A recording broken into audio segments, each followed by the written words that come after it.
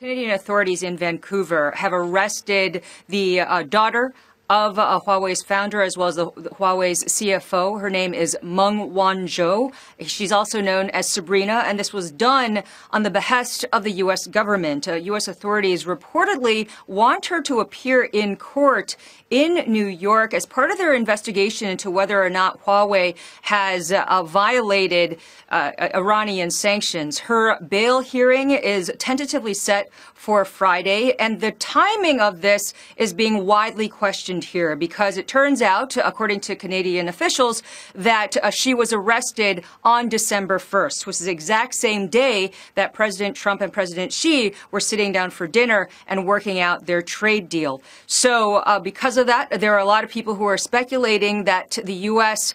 was aware of this and that this is a message to the Chinese as well as to Chinese companies that uh, they need to abide by certain standards and to uh, change practices which Washington has long seen as unfair. Uh, Huawei has been targeted by the U.S. for about a year uh, to try to curtail some of Huawei's activities in the United States on national security grounds. So Huawei has reacted, putting out a statement about Meng saying the company has been providing provided very little information regarding the charges and is not aware of any wrongdoing by Ms. Meng. The Chinese government has also condemned the arrest. Uh, the uh, embassy in Canada called it a gross violation of human rights. The foreign ministry also uh, today said that they are demanding for her immediate release. Uh, the arrest is expected to harm relations. There was an expert who is very closely connected with the Ministry of Commerce who put